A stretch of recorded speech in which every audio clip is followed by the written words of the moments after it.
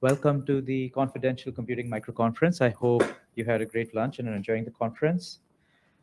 Uh, before we start, just a few uh, instructions to help make this microconference a success. Okay.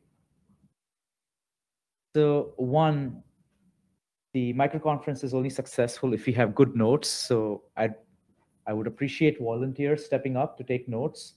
Uh, there is a Etherpad session that you can uh, write in directly, collaboratively, or you can send me send your notes into me uh, later.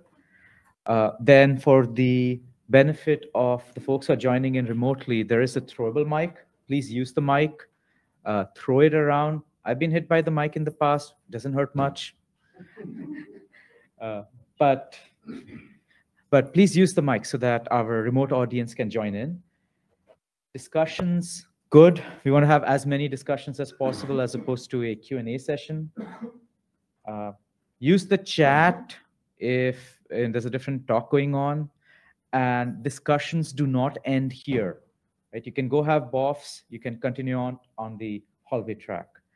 Uh, and with those instructions let's get this microconference going. I'm going to invite Jörg up to start with SVSM